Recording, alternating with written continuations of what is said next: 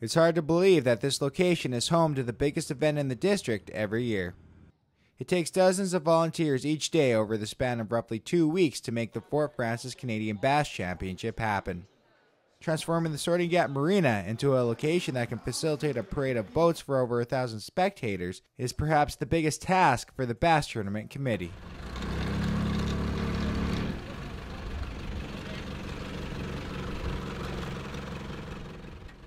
It's cold and wet, but it's Friday, the week before the bass tournament, and the big tent must go up.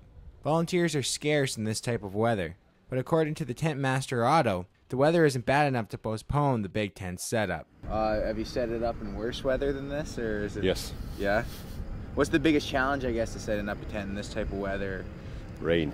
You when when you uh, set up the tent, you have to set up the outside poles first, and then you get, get a big uh, water pocket in there, and you never lift the water up. With the help of an MNR fire crew, the tent is erected later that afternoon.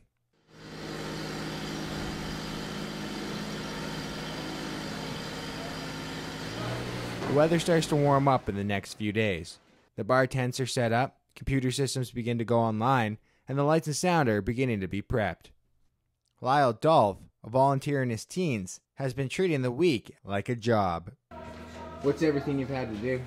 Uh, set up the big tent, uh, paint everything you see black around here, um, set up volunteer tents, set up fencing, make sure everything works right. How many people do you figure are volunteering like the week before? I'd say about 70 or 80 people that you really don't see around, but you know that they've done something. After this year's tournament, Fort Frances Bass Tournament Chairman Tom Fry revealed the committee is considering an alternate location next year. There's a lot that goes into setting up the scene of the Bass Tournament, and just as much to take down. A lack of volunteers to tear down over the years, along with the costs associated with operating an independent site, are reasons the Bass Tournament may look to move to the Memorial Sports Center next year, which was reported by Time staff writer Mitch Calvert earlier this month.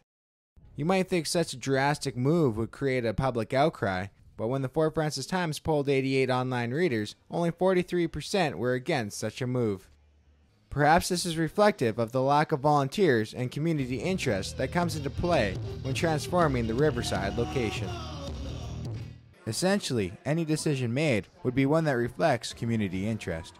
Clearly, more are needed to volunteer their time to keep the bass tournament the same it has been in years past. Whether people realize it or not, their actions or non actions dictate the direction of the biggest event in the district. This is Andrew George for FortFrances.tv.